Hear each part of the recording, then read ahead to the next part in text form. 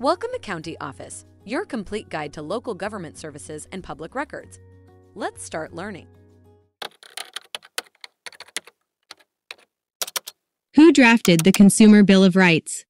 Let's dive into the history of consumer protection, shall we? The Consumer Bill of Rights was not drafted by a single person, but rather a collective of minds.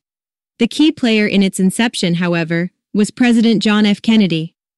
In 1962, JFK presented a special message to the United States Congress on protecting consumer interests. This was the first time in American history that a president had addressed the issue of consumer rights. The message outlined four fundamental rights the right to safety, the right to be informed, the right to choose, and the right to be heard. The drafting of this bill was a collaborative effort between JFK's administration and various consumer advocacy groups. This historic legislation was a major stride in the ongoing effort to safeguard consumers from unfair business practices.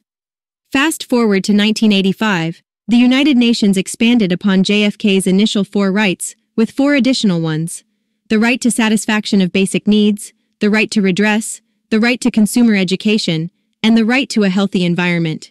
So, in a nutshell, the drafting of the Consumer Bill of Rights was a team effort, championed by JFK and expanded upon by the United Nations. It's a testament to the power of collective action in the pursuit of fair trade and consumer protection.